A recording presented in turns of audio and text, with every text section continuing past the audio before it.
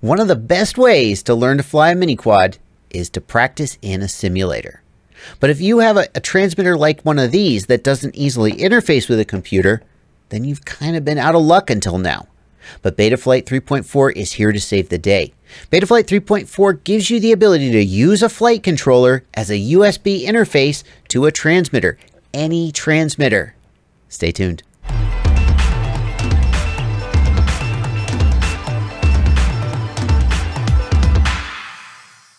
I'm Joshua Bardwell, and this is FPV Know It All, where you learn everything you need to know to get your quadcopter in the air, keep it flying its best, and enjoy the great hobby of FPV. And one of the best ways to enjoy the hobby of FPV is through a simulator. Simulators are not only great tools for learning to fly, they're also just a lot of fun. They're a fun game that you can keep enjoying with your friends, even after you've gotten over that initial learning curve. And let's be honest, simulators don't fly perfectly, but they're really good for getting over the first five hours of flying, the first 200 crashes, instead of having those initial crashes in a field, crashing, costing yourself money, maybe even losing a whole quad. You can have those crashes in a simulator where you just press the reset button and you're back in the air. And by the time you get to the point where the simulator, the, the, the deficits in the simulator's physics really matter, you've already gotten become way, way better as a pilot. Simulators are awesome. But there's a problem.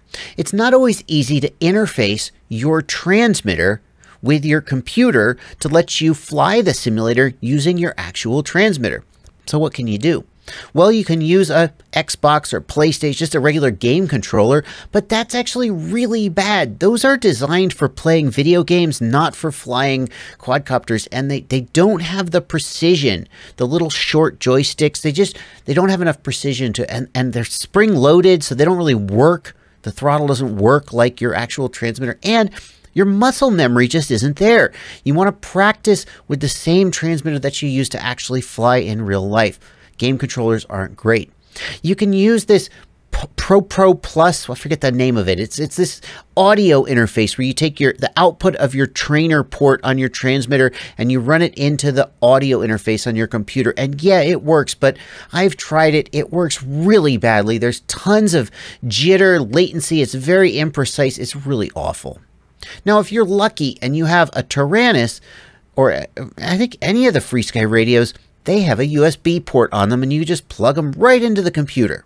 And that's great. They just act like a joystick. And they're not the only ones out there that do that. It can be a little bit annoying to have a USB cable hanging out the back of your transmitter, though. And there are various wireless interfaces as well, most notably for FrSky and Open uh, and, and uh, Spektrum radios, but they cost a little bit of money. What about everybody else for whom those solutions don't work? Well, now there's an answer. Betaflight 3.4 lets you use any flight controller and receiver. Any receiver that could be Radiolink, could be FlySky, anything that you can hook to a Betaflight flight controller and it will act as a USB interface showing up in your computer as a game controller and I'm going to show you how to do it. The first thing you're going to need in order to use this feature is Betaflight 3.4, and at the time of this video, it is in release candidate. It hasn't been officially released. Release candidates are generally pretty safe to use. You can test them out, but there may be a couple bugs. Very shortly, there will actually be a release of Betaflight 3.4, and that won't really matter.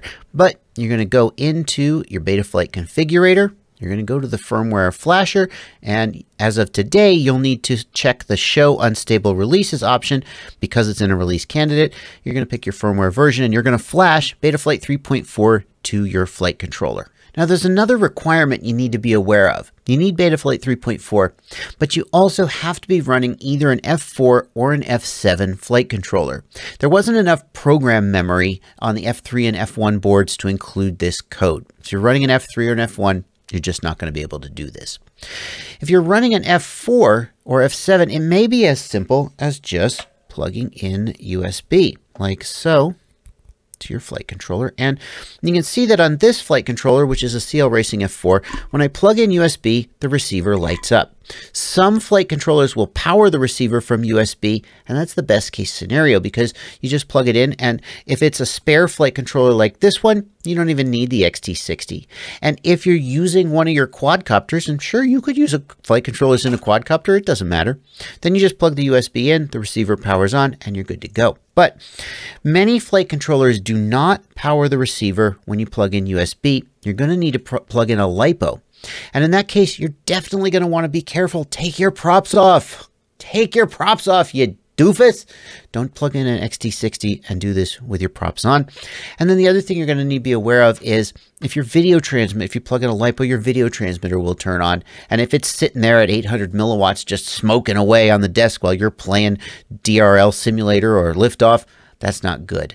So the best case scenario is to find an old spare, maybe you lifted a pad and it's no good anymore, but you haven't thrown it out yet. Find an old spare flight controller, or gosh, maybe even spend 20 bucks on, a, on an Omnibus F4 or something from Banggood and just wire it up to a receiver and use it as your adapter. But you can use a flight controller that's in a quadcopter if you so desire.